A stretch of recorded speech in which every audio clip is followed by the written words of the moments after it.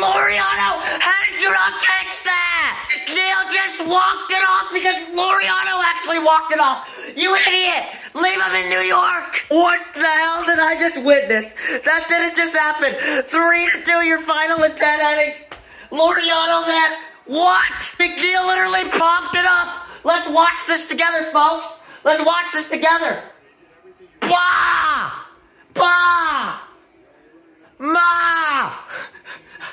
What? This isn't freaking sprinting, folks. You just sprint right past the baseball. This is baseball. We're supposed to catch it. He just ran right past it. What? Go to the Olympics, dude. And that stupid Jose Iglesias runs it. Oh my God. It's such a good song by him. God, I hate Jeff McNeil. Oh my, worst loss in Braves history. Is this what we get for being racist? Because that hurt. That is a freaking pain.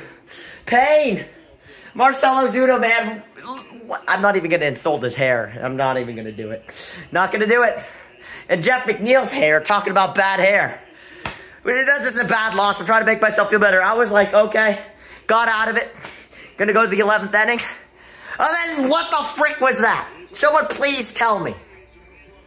It's over. Oh my god. Chris Sale did amazing though. That was about it. Did amazing. Couldn't get more than two runs. Injuries and injuries and injuries. Injuries, sminjuries. Uh, Acuna, Strider, Albies. Everybody's injured on this team. But that, come on, we dominated them. Subscribe to the channel. Hit the bell. And yeah, donate if you like.